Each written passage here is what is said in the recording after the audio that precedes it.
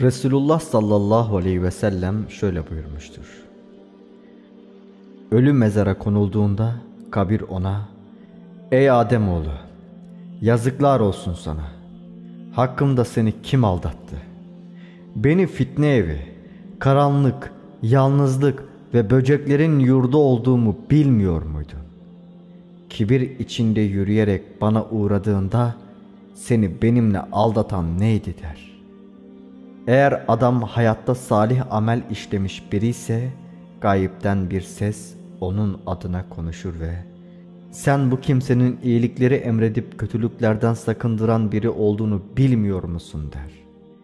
Kabir o zaman ben onun için yemyeşil bir bahçe olurum diye karşılık verir. Bunun ardından adamın cesedi nura döner ve ruhu Allah'a yükseltilir.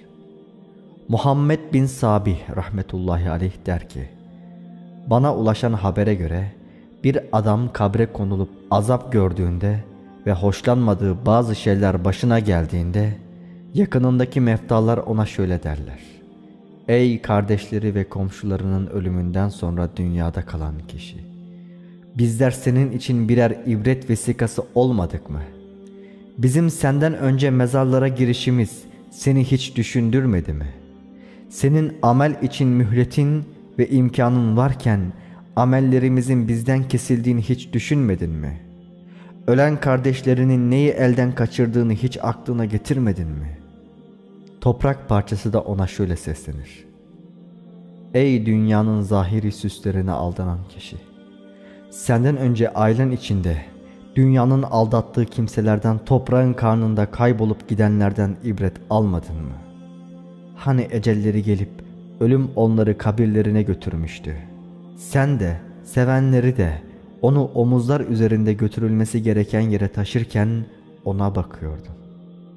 Kab bin el-Ahbar rahmetullahi aleyh demiştir ki, Salih bir kul kabre konulduğu zaman namaz, oruç, hac, cihat ve sadaka gibi amelleri onu çepeçevre kuşatırlar. Azap melekleri ona ayak uçlarından yaklaştıkları sırada namaz, ondan uzak durun. Bu kula ayaklardan azap edemezsiniz. Zira o onların üzerinde kıyamını uzatarak Allah için beni kılmıştı der. Bu sefer ona baş tarafından gelirler. O zaman da oruç, bu kuldan uzak durun. Çünkü o dünya diyarında Allah için uzun zamanlar aç ve susuz durmuştu. Ona azap edemezsiniz der. Bunun üzerine ona yan tarafından gelirler. O zaman yapmış olduğu hac ve cihat buradan uzaklaşın. Şüphesiz o Allah için nefsi ve bedeniyle nice zorluk ve meşakkatlere katlanarak hac etti ve cihat yaptı. Ona azap edemezsiniz derler. Bu defa ona elleri tarafından gelirler. O zaman da sadaka. Sahibimden uzak durun. Ona ilişmeyin.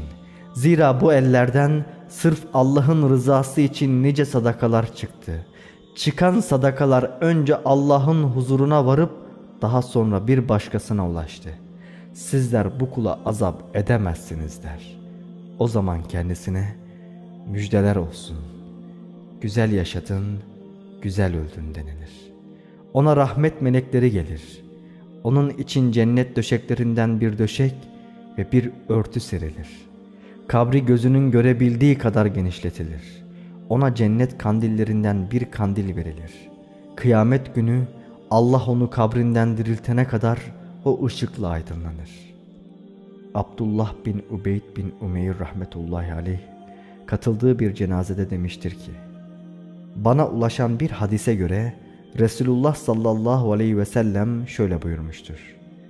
Ölü kabre konulduktan sonra oturur defnine iştirak edenlerin ayak seslerini dahi işitir. Ancak kendisiyle sadece kabir konuşur. Kabir ona, ey Ademoğlu, sana yazıklar olsun. Muhakkak benim hakkımda uyarıldın. Darlığımı, pis kokum, ürkütücülüğüm ve böceklerim hakkında sakındırıldın. Peki, şimdi benim için neler hazırladın der. maazallah.